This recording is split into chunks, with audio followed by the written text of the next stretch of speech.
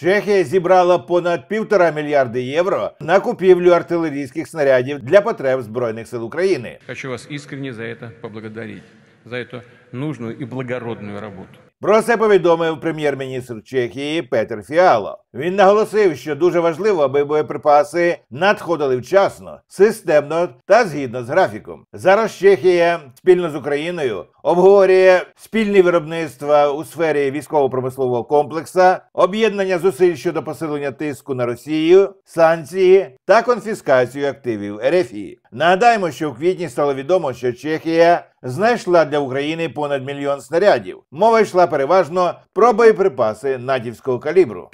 Давай спочатку з приводу використання F-16. Е, Взагалі тут багато кепкувань зараз, починаючи там від того, що можна тоді до них іграшкові ракети поставити і просто їх не підіймати з аеродромів, е, проходячи через те, що я б тоді запропонував, можливо, взагалі їх там і зберігати в Бельгії, в принципі, і звідтиля вилітати, збивати над Україною ракети і назад. Якщо не можна використовувати по території Росії, ну або просто підняти постанову е, указ президента України про е, етнічні території історичного проживання українців е, навколо України. Власне, сказано ж було українські території, не сказано ж було території української держави. Ну тоді Ростов, Білгородщина, е, Північна Слобожанщина і так далі. Ну йдемо по порядку і там можемо використовувати. Але то все жарти. Зрозуміло, що неприємно, що перша. Перша угода фактично стосовно конкретної кількості літаків з конкретним зазначенням в часі просторі, і в ній чорним по білому буде зазначено, що їх не можна використовувати поза територією України. Неприємний прецедент, але дуже прогнозований. Чи він катастрофічний? Ні, тому що Бельгія і не була ніколи країною зі списку рішучих. Власне, Бельгія на себе цих ризиків не готова брати, але є інші країни в коаліції, по наданню Україні літаків, які є більш рішучими. І, власне, я думаю, що там таких обмежень не буде. З приводу в цілому застосування зброї. Е, Тема визріває. Сполучені Штати на півроку випали фактично забезпечення безпеки і допомога Україні пробуксовувала ці півроку через парламентську кризу в Шта- е, в Штатах. І ось коли вони повернулися, трапилась цікава ситуація. Те, що динаміка вже змінилася і характер змінився. З одного боку, Росія готувалася довгий час до виборчого періоду в Штатах, як до вікна можливостей, коли вони спробують додавити ситуацію по всіх напрямках: і дипломатично, і інформаційно, і геополітично, і військово. Півроку ще створили для них додаткову ілюзію, що їм це може вдатися, що все йде і карта поперла, що, що називається. А по-друге, створили для них простір для того, щоб це спробувати робити. І під цим же тиском змінилося і рівень рішучості в Європі, оскільки Європі прийшлося брати відповідальність за забезпечення європейської безпеки. І тепер, коли повернулися Сполучені Штати, Росія з одного боку більш нахабно і обнагліла, а Європа більш рішуча.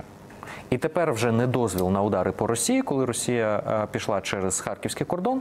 Вони вже виглядають абсолютно недолугими не тільки з точки зору воєнної логіки і ситуації, але і з точки зору загальної динаміки розвитку російсько-української війни і російської агресії ширше проти міжнародного права.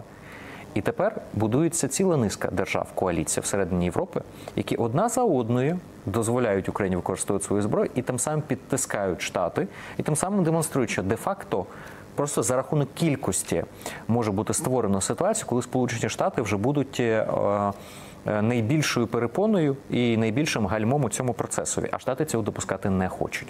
В продовженню цієї теми, як приколабок, зараз просто я і тобі, і поглядацькій аудиторії нашій запропоную е, значить, думку високого владоможця від ЄС Жозепа Бореля. Да, він вважає за необхідне знайти баланс між ризиком ескалації та потребою українців.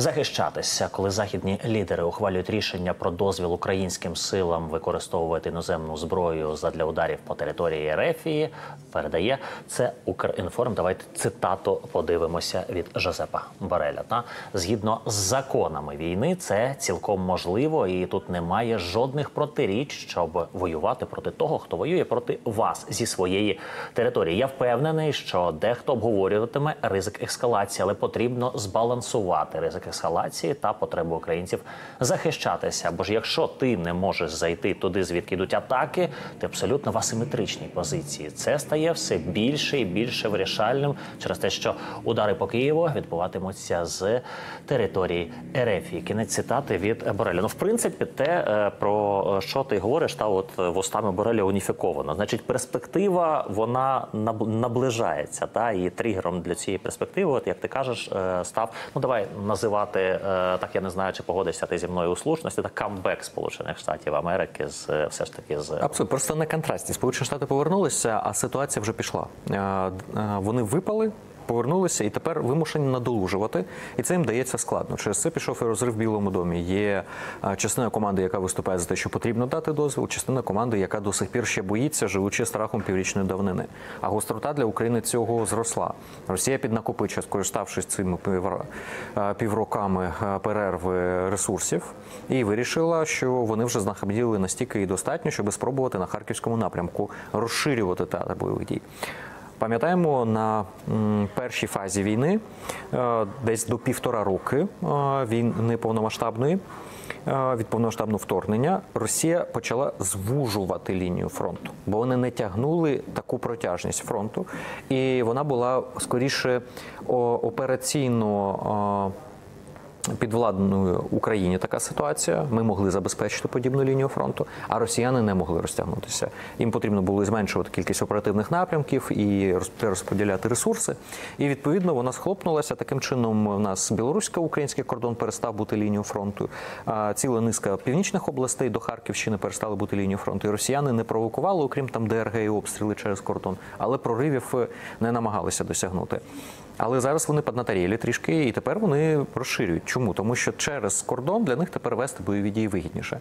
На окупованих територіях е, ми контролюємо вогневими е, засобами на сотню кілометрів глиб, і відповідно логістика, можливість концентрувати війська, все це для них є ускладненим. У випадку російсько-українського кордону е, для переважної абсолютної більшості українського озброєння вони там недосяжні, тому що заборонено використовувати. І таким чином, фактично, оця ділянка 5-8 кілометрів, на яку вони зайшли вдовж кордону, це і є та ділянка, на яких можна знищувати. А до цього, стоячи за 20 кілометрів від вони можуть концентрувати а, свої війська, ударні групи. Вони можуть їх озброювати, можуть логістику забезпечувати, склади, все інше. І там тільки точково, куди не куди Україна може досягнути через брак озброєння, яким ми можемо бити по цих територіях.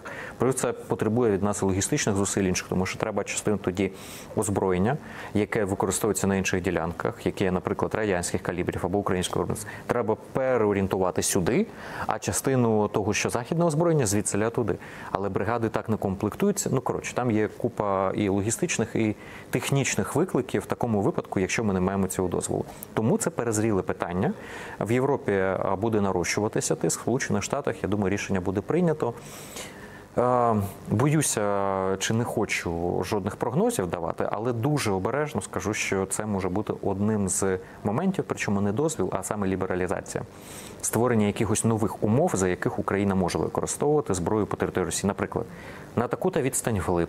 Наприклад, тільки такі види озброєння, наприклад, тільки по таким об'єктам, з якимись, але я думаю, що це може відбутися в контексті підготовки і фіналізації саміту НАТО. Потрібно Саміту якесь Вашингтоні. рішуче рішення, яке потрібно прийняти, і можливо в цьому контексті зараз український тиск спрацює.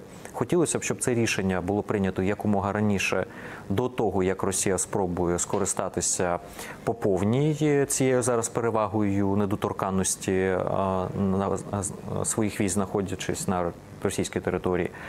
Але м, існують ризики того, що ми побачимо це рішення тільки тоді, коли картинки з України і з фронту пожорщаться. На жаль, так працює демократія, так працює телемедіакратія за кордоном. І відповідно тільки коли з України якісь ідуть е, жахливі новини, то там з'являється реанімується страх того, що Україна може програти в війні, і відповідно треба допомагати. А як тільки ситуація стабільно контрольована, то одразу згадують так: ну треба ж не ескалювати, бо зараз, от не дай Боже, Україна почне перемагати. Там щось це може бути такими загрозами для нас неприйнятними. Коротше, все нормально, займаємося своїми внутрішніми питаннями і їдемо в Голлівуд, а не на саміт миру.